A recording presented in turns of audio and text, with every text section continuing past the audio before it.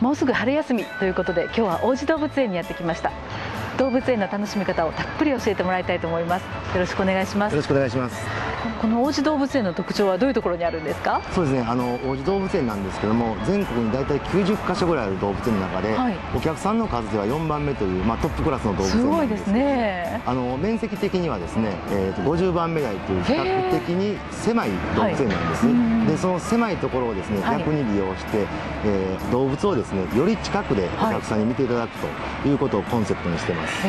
じゃあいろんな工夫がしてあるわけですね。そうですね。いろいろな工夫が、えーと、動物園の中にはされてますので、はい、じゃあ早速見せてください。はいどうぞ、はい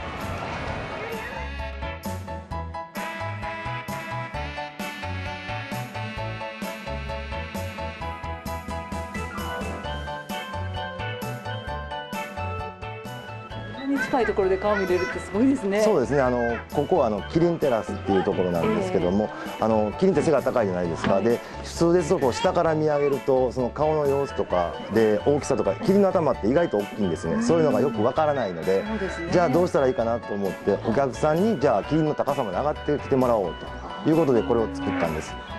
あとここにあの餌を釣ったりしてねあの不定期なんですけども静から餌を釣ったりすると、お木の下って40センチぐらいある長い下を持ってるんですけどもその下でその枝についた葉っぱをきれい上手に絡め取ってね、うん、えー、食べてる様子とかもね近くでね見えますのでねそういうの時に機会があればねまた観察してもらいたいと思いますね。はい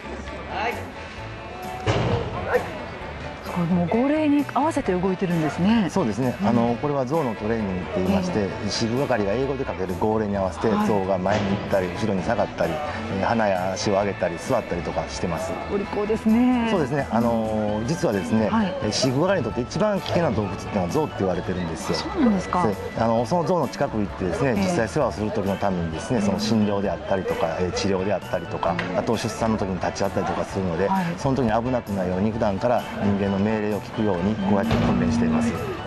象と人がこういい関係を築くために教えてるということそうですね。あの象のため象の体のためで飼育係何のためにこういうことをやってます。でそれでまたあのお客さんもですねその様子を見てもらってですね喜んでいただいてますしので、えー、ちょうど一石二鳥になってると思いますね。そうですね、はい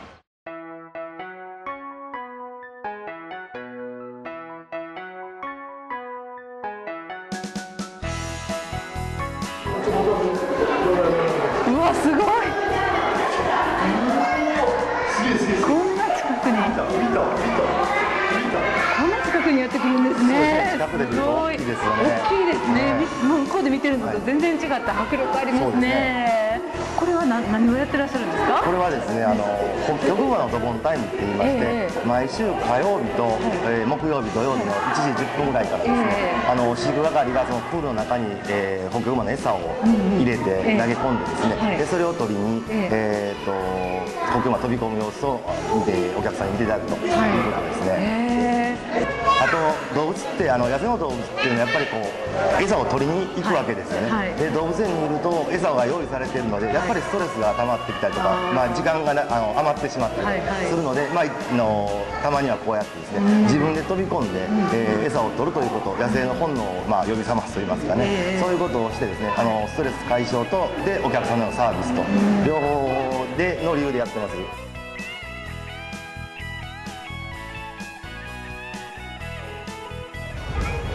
今日はいろんな動物を見せてもらいましたけれども、はい、それ以外にこれは見てっていうものありますか？そうです。ねやっぱりまずはジャイアントパンダですよね。パンダですよね、はい、あとカバ、はい。えー、それから円形猛獣舎にね、えーとまあ、虎とかライオンとかの猛獣がいるのでそれを見ていただきたいですし、はい、あとこのからの季節ですとフラミンゴです、ね、はいはい。パンダはどういうところが見どころなんですか？やっぱりあの王子動物園では一番の人気の動物、はい、王子といえばやっぱジャイアントパンダっていうことなんですけども、えーえ。ー、あの2時間おきぐらいに餌の時間があるので、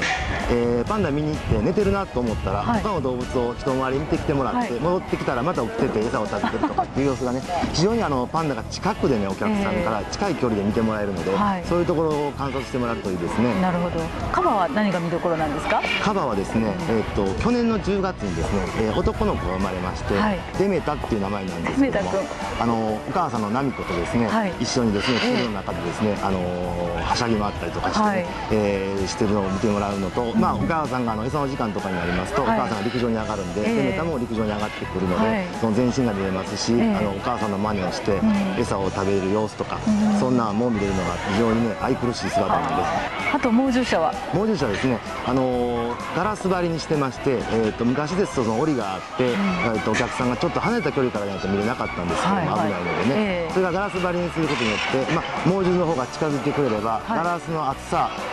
までお客さんと猛獣が。あのー近づけるのでそのヒゲの様子とか尻尾の様子とか 肉球とかそういったところで非常に近くで見れるんでそういったことをじっくり見てもらいたいです。なるほど。あとフラミンゴですね。そうですね、あの王子動物園ですね、あの入り口入ってすぐにですね、はい。えーと約200羽のフラミンゴがいまして、ある意味は王子のシンボル的なはい。存在なんですけれども、えーちょうど今の時期ですね、えーと要は恋の季節といいますか、はいはい。繁殖期に入ってまして、えあのフラ1年を通じて一番フラミンゴの羽がですね、はい。綺麗になってるんですよ。ああ色が変わるんですか？そうですね、あとあのこの時期やっぱり綺麗になって、えでえーだんだんとこの子供を産んで、えー育てていくとやっぱり栄養がなくなってくるこうちょっとこうあのくすんだような色になってくるんですけどもこの時期が一番綺麗なのでそれが見頃ですね、はい。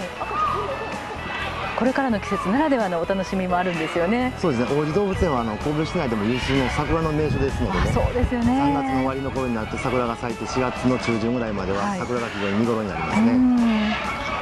園内にはですね、えー、と大体約480本の桜がありまして、はい。えーその中にはですね、ええ。あの神戸の海洋気象台がですね神戸の桜の開花宣言とか満開宣言をするですね標本木もあるんです夜は通り抜けなんかもされてますよね。そうですね、あの4月の上旬になると思うんですけども、はい。週末の3日間通り抜けをおやるとやります、えで、えー園内の桜をですねライトアップして、え。えー無料で通り抜けしていただくんですけども、うん。まだ日程決まってないんですけども、はい。間もなく、えーお知らせできると思います。はい